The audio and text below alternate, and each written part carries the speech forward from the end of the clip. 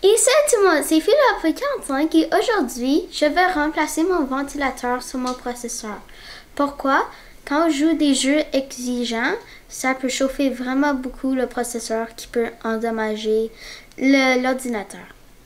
Quand on joue des jeux exigeants, la température du processeur et du système peut augmenter.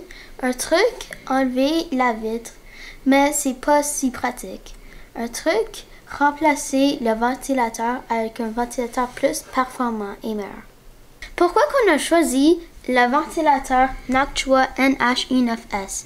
On l'a choisi parce qu'il est compatible avec le Acer Predator Orion 3000.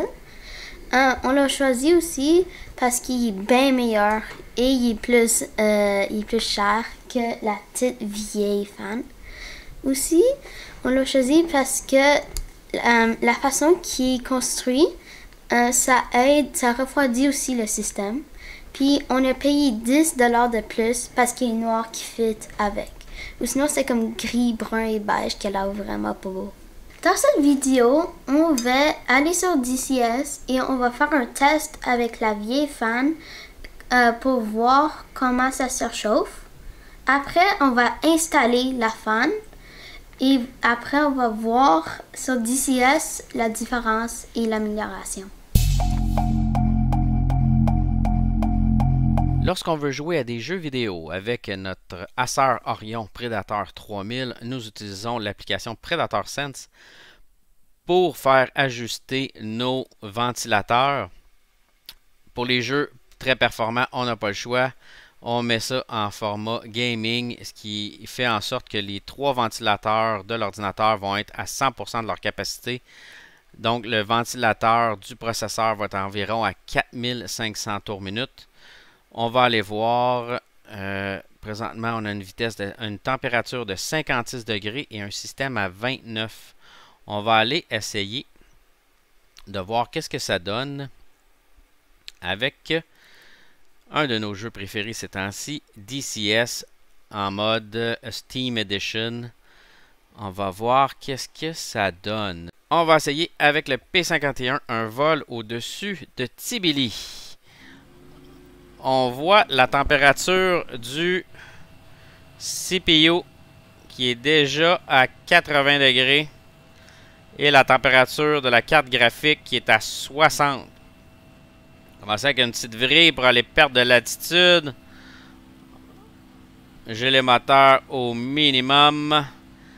On est à 88 degrés avec le processeur. On remet un peu de gaz. Et voilà, le P51. Quel bel appareil. Quel bel appareil. Allez,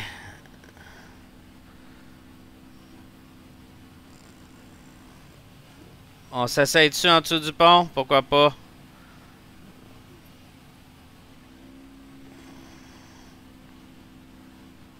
Wouhou! Le processeur est à 71 degrés, la carte graphique à 73. On va mettre un peu plus de gaz pour être capable de soutenir les virages qu'on va effectuer au-dessus de la rivière Tibili, mon ami. Let's go! Let's go, plein les gaz. Virage en approche pour un virage à forger. Oh là là. Toujours au-dessus de la barre des 200 pieds, au-dessus de la ville de Tbilisi. Et c'est trop. Allez. On est à 70 degrés pour le processeur. Et la carte graphique à 65. Avec euh, environ 120 frames par seconde, donc un FPS constant à 120. La carte graphique 3070 qui, euh, qui fait la job, comme on dit. Donc, on va être capable de passer en dessous du deuxième pont, je ne croirais pas aujourd'hui. Wouhou! Allez. 73, 71, c'est quand même bien. On est au dessous, en dessous des 80 degrés. Par contre, en jouant à long terme, c'est certain qu'on va finir par atteindre les 80 degrés. Maintenant, c'est au tour d'installation. Dans la boîte, on était chanceux, il y a les vis, les outils et la pâte thermale. Les choses qu'il n'y avait pas, c'était de l'alcool à friction pour enlever euh, la vieille pâte thermique, aussi avec des Q-tips, un Scott Towel, puis il fallait aussi acheter des vis M, euh, M3 par 12, c'est ça. Euh, on a aussi un tournevis qu'on a besoin. Et c'est tout. On va aller installer ça. Pour commencer, tu auras besoin du tournevis qui est inclus dedans. Mais en premier, il y a le petit fil là, là. Puis tu vas juste enlever ça doucement. Comme ça. Là, il n'y a plus d'électricité dedans. Prochain, dévis.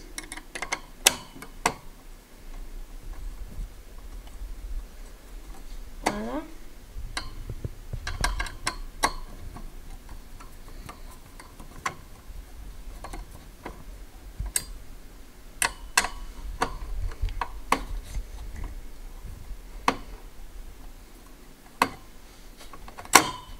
Oh, ça va. Ça va s'enlever.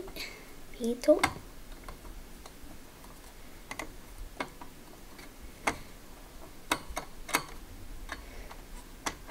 Oh! Il s'est enlevé! Il ça. Ok, on va déposer ça. Puis là, ça, le gris là, ça c'est la pâte thermale qu'on va enlever avec l'alcool et les Q-tips. Prochaine étape, c'est de prendre des Q-tips et tu vois là, ça c'est la pâte thermale. Puis tu vas essayer de peser dessus comme une cuillère. Puis après de swiper comme ça. Puis après ça, on enlève. Comme ça.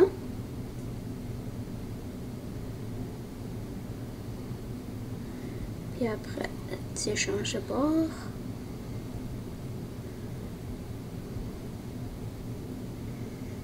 Puis le, le but, c'est de d'en prendre le plus possible.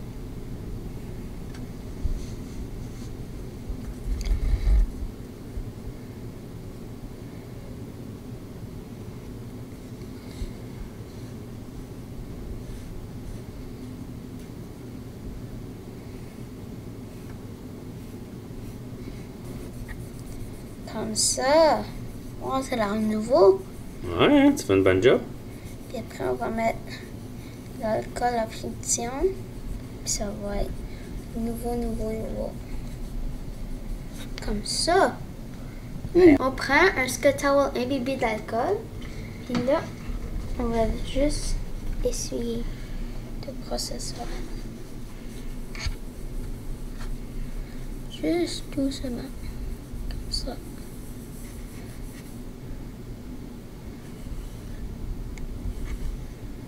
Alright. Là, on prend un Scott Towel normal. Puis on vient essuyer doucement. T'es-tu après flatter ton, pro- ton processeur?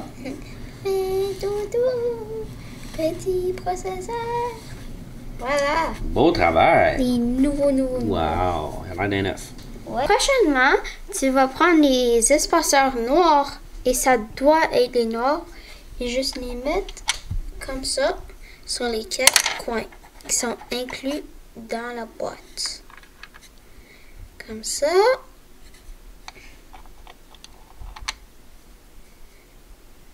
Alright, ça c'est bon. Là, il y a les barres comme ça. C'est des NMIMB3. Puis là, tu vas les mettre. Je peux mettre ça comme ça. Hum. Tu vas les mettre là, comme ça. Oui.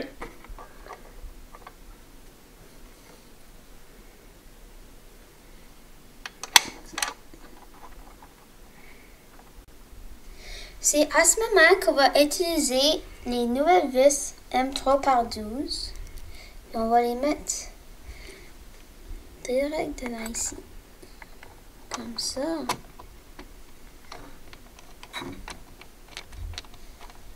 Là, tes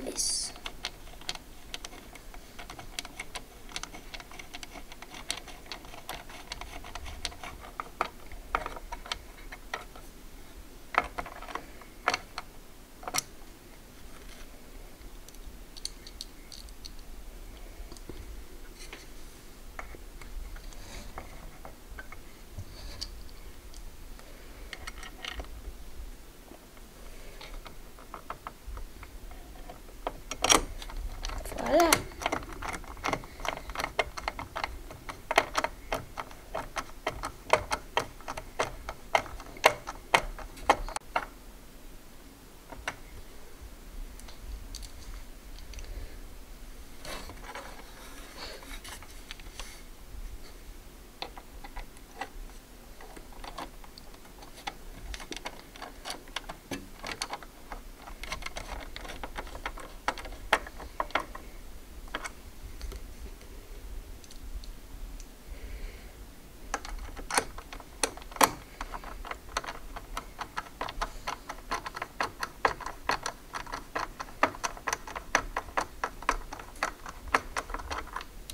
Alright.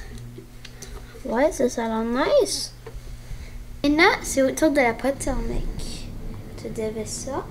Puis t'en mets à peu près deux grains de riz. Ou un pois vert. Dans le milieu. Comme ça.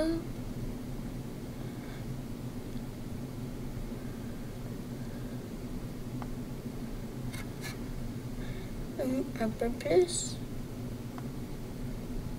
À peu près ça. Ok. Là, là, c'est autour de ça. Le moment tant entendu, on enlève la fan.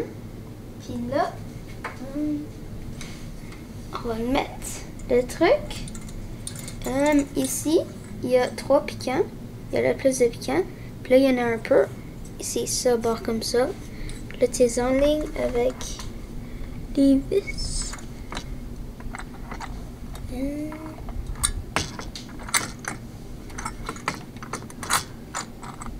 Aha. Puis les visse.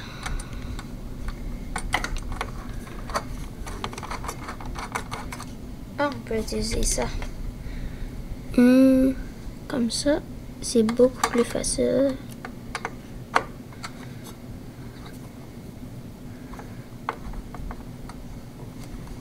Un truc, c'est de visser un peu de chaque bord.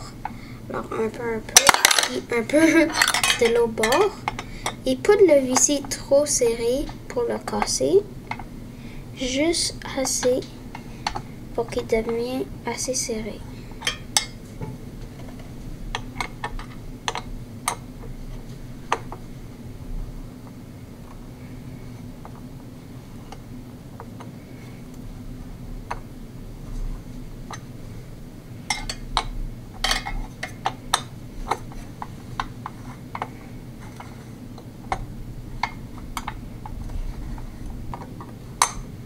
Voilà.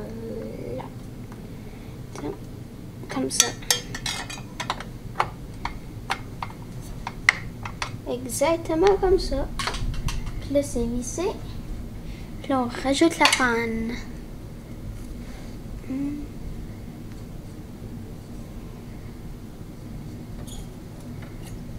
Ouais, c'est par là.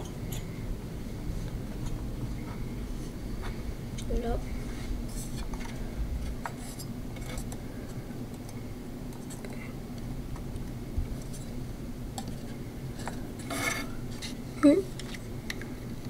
Comme ça. Ah oui, tu dois l'attacher. Ah, tu pousses. Tu pousses. Là, c'est supposé attacher. Dernière étape, on va brancher le- l'électricité. Alors ici, il y a une petite groove. On va dans l'autre groove blanche. Comme ça. C'est un peu serré.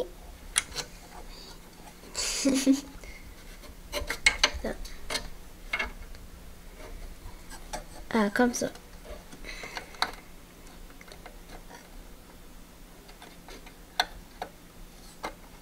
Et voilà! On a installé la fan Noctua NH19S.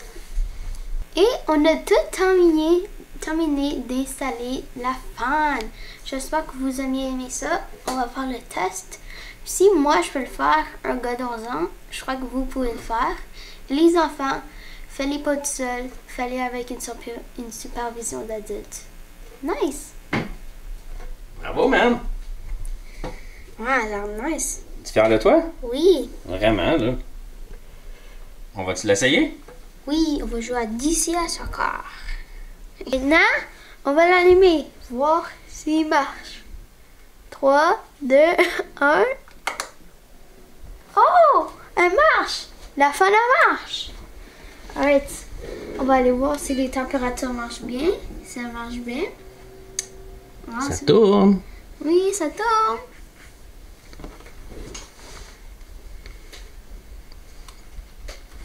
Oh. Ok. Maintenant, on va aller sur Predator Sense.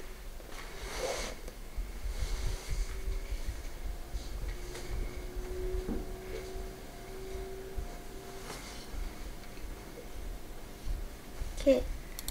Là, non. Là, elle est à minimum. On va voir. En moyen. Hmm. Là, en maximum. Ok. Est-ce qu'il y a une différence? Va voir à Fan Control, à Auto. Alors, OK. Puis là, mets-toi à Custom. Puis à, à- ah oui, on voit la, la vitesse. Mets-toi en Custom. Puis mets tout à 60. Puis après ça, mets-la à 100 le CPU. Ok. On la voit changer de vitesse.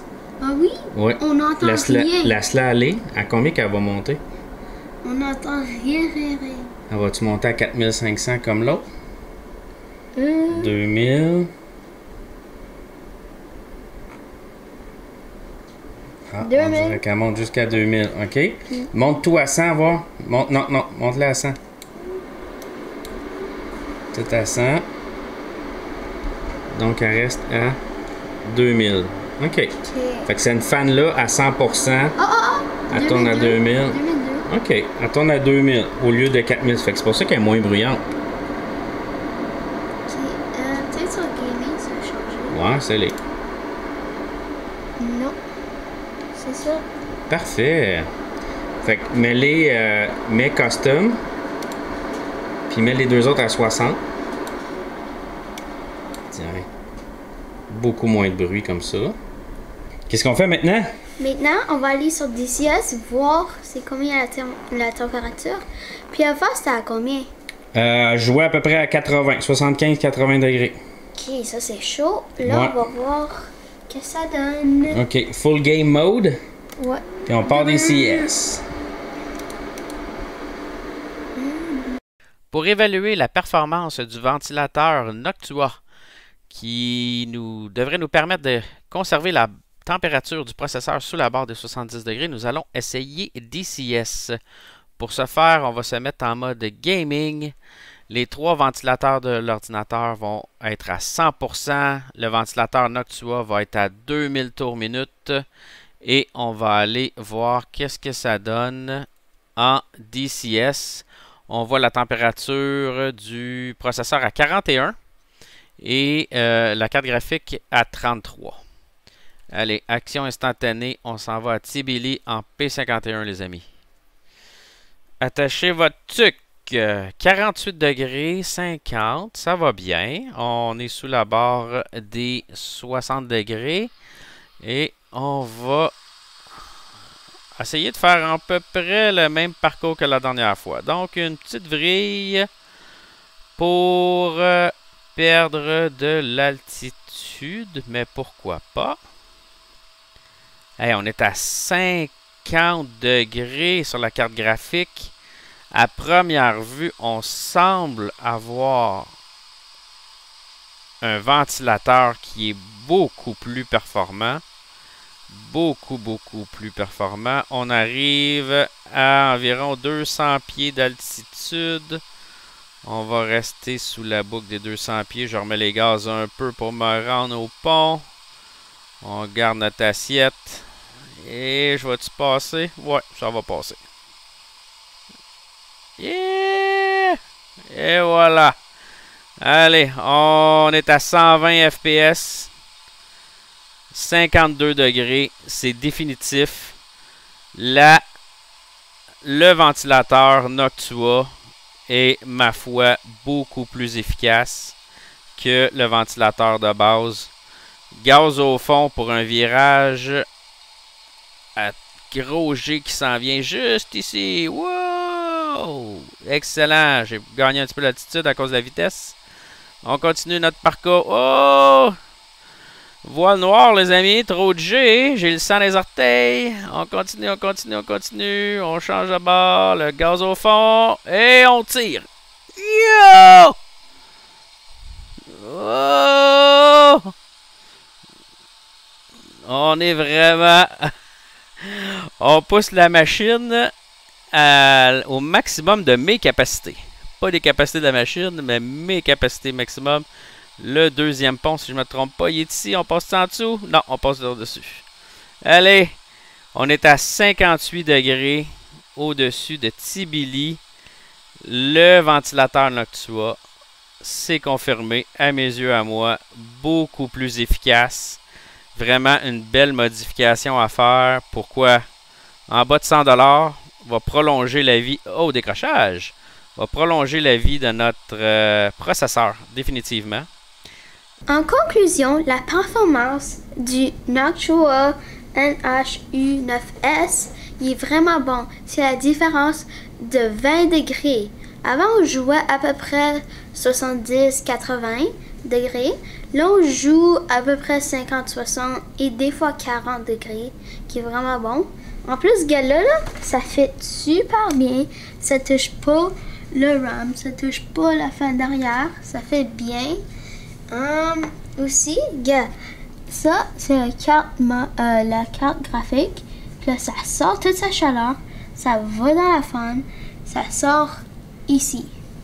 Ça, c'est vraiment nice. Ça aide à garder le système plus froid. Oui. Oui. Puis aussi, c'est noir. Ça fait vraiment bien. C'est vraiment là. Sinon, ça serait à peu près cette couleur.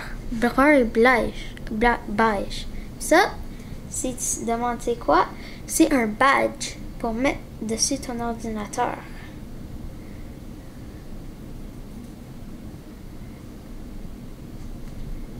C'est vrai qu'il est pas mal beau. Il s'intègre très bien dans le système. Très performant. Vraiment une très belle amélioration. Très efficace. Donc, ton Acer Predator Orion 3000 à son premier badge. Et maintenant un badge Noctua. C'est probablement le seul défaut, hein? Ouais. C'est que la badge est brune. On a acheté le Chroma Black, mais la badge, c'est la badge d'origine brune. Hey! J'espère que vous avez aimé cette vidéo. Likez, commentez si vous avez aimé ça et abonnez-vous. Bye! On a mis quelqu'un au monde.